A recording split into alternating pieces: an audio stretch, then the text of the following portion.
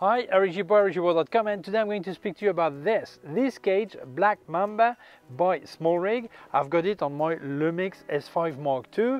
I'm going to tell you why you need a cage like this when you make video, uh, the plus, the pro, uh, the, the, cons, or everything about this uh, fantastic cage, the material, all this, and show you why. You probably need it. Okay, so let's start. The big problem when we make video is uh, like I show you right now, uh, there is a lot of uh, accessories you're going to uh, put on the camera, like a monitor or repeater, transmitter, whatever, uh, or uh, simply a microphone or whatever. And obviously not everything would, uh, would fit on the flash uh, hot shoe or cold shoe here, well, in this case hot shoe, and uh, the only way is to have a system like a cage. Uh, SmallRig did not invent the cage, but uh, they have a very uh, good reputation about cages. So when you place your camera in the cage, that will let you place a lot of accessories, that a small of, a lot of hole to place things, and that will help you uh, get the accessories you need around your camera to be uh, to, to be making videos okay? So I'll show you how you mount it and tell you a bit more. So let's see what you get in the box. You get three uh, pieces if I can say that okay? So let's open it. Here you will find a first uh, it's all, all, well protected okay?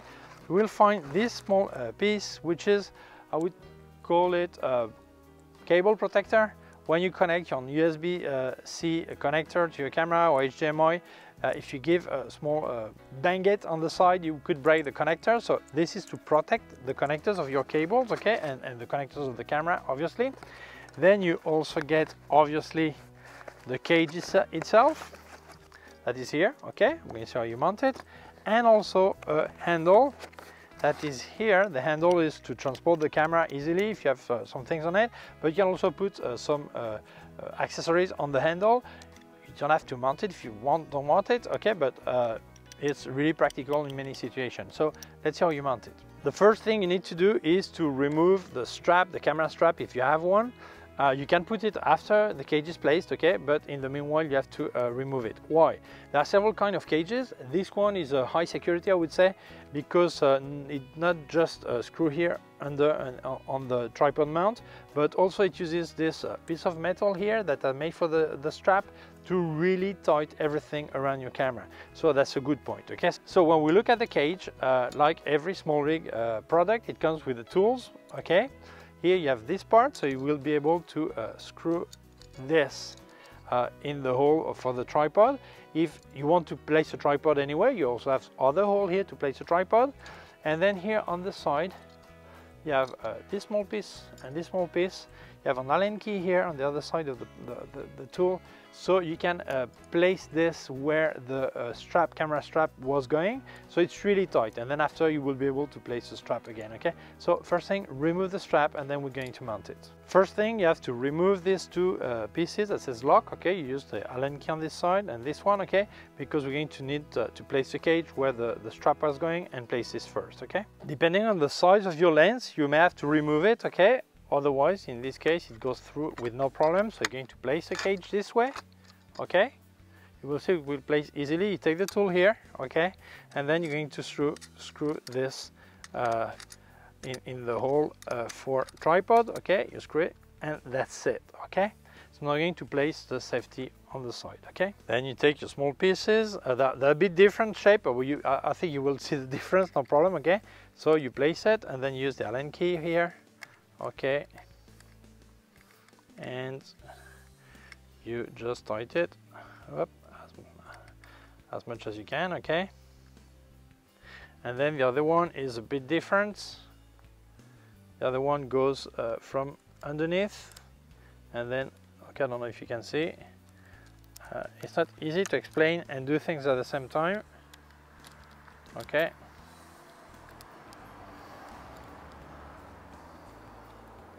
The screw has to be almost out because this one has to slide from the bottom okay? Okay you just screw it this way. Once it's done it's like this. You see this one is screwed this one is screwed here okay? You can uh, keep the magnetic tool here okay underneath here. That's it. And then if you wanted to use a strap this one you have a strap place here okay? And this one is occupied but here you have one here to place the straps. In case you wanted to, uh, to use a strap, you would go here and here, and that's it. That easy, no? So this is the way it looks. As you can see, the small, a lot of small hole everywhere, okay? And uh, it looks like this, like this. And uh, in case, uh, what you will see here, there is a small, uh, like a small uh, cold shoe here. What is it for? Well, if you want to place a microphone uh, transmitter, for example, or if you, this cage is for the Lumix S5 Mark II and the S5 Mark II X that is not available yet, the X, but still the cage is the same, will be the same, okay? Uh, you can place here a small hard drive, uh, SSD drive, sorry, uh, if you want to record directly from USB-C. And the X is on series, and on this one, the S5 Mark II, I think there is an, an upgrade, a firmware upgrade you need to pay for, but you can record directly to USB-C. So a uh, SmallRig has a small uh, accessory to place a small uh, SSD just here, so you could place it. You have more hole here in case you wanted to place the holder. You have you cannot go wrong the biggest hole here and you also have uh, two, a small peak to uh, center it properly. You uh, screw it this way, okay? Here you have also another cold shoe here that uh, has a safety here. Let's say here you place a, a, monitor, you don't want it to fall uh, forward, you can lock it, okay?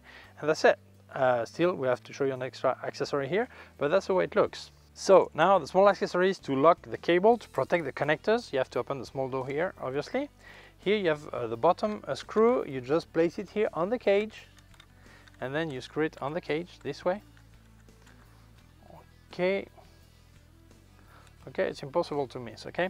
And then you will see other, two other screws and when you actually screw, you will see that it moves forward because it does two things. First, to uh, hold the cable and second, to press on the connector. This way it's really tight. You don't risk, uh, if there is a someone that bangs the, the cable, the connector, it will not break the, uh, the, the system. Okay, so it's really important you use this when you're going to connect a USB-C or an HDMI uh, connector to use this protection to make sure if there's any things that bangs on it, there's no problem. So this is the way it looks. I mean, uh, it's, not, it's not very heavy, 300 uh, grams, that sounds heavy, but it's not. A thing that uh, this has to be really tight, really rigid, because uh, very often you have more weight on the cage than the camera itself, plus to uh, bear the camera also.